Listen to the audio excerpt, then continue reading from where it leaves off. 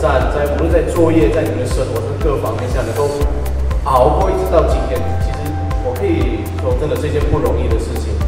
不单单是说我们只是要完成学业，更是我们一直在我们的设计理念上，一直要去突破，往下一个阶段一直去前行。我觉得这是一件非常困难的事情。